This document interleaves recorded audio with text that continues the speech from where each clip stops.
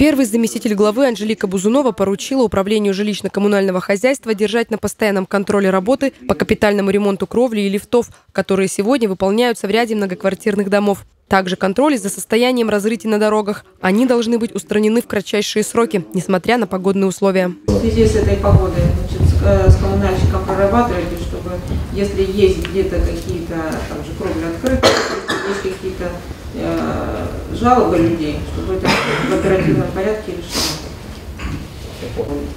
И контроль за производством разрытий.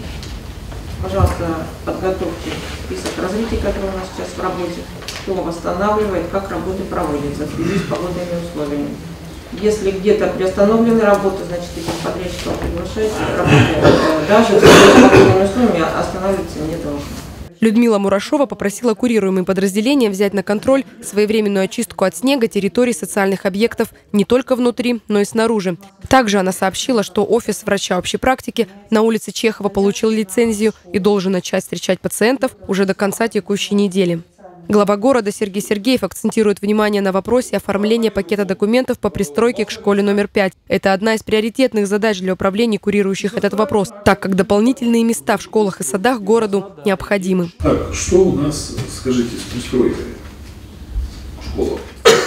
С пристройками к школам у нас сегодня топосъемки сделаны, определены школы. Это пятая школа, мы получили уже ваше согласование. Сегодня идет работа с инвесторами для того, чтобы они там начали уже работать.